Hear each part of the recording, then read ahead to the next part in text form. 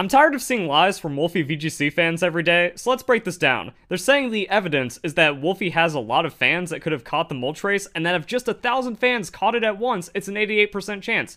No, that's wrong, because the best case for getting that Moltres is about 1 in 15,000. And that's assuming he could get a thousand people to waste their time for nothing, but judging by this stupidity, I guess it's possible. But then they say, oh, every single person in Wolfe's audience doing this means he's going to get it. But we can just disprove all that immediately because the maker of PKHeX has confirmed this is a hacked Moltres because has the wrong location when you get into the Pokemon's data and it has impossible RNG values, which means it can only be obtained through hacking. So yeah, anything about Wolfe's audience being large enough to get this improbable Moltres is a lie. Just like everything else Wolfe has said. Like, I didn't go 0-4 at my first regionals. That wasn't my first regionals, and I didn't go 0-4.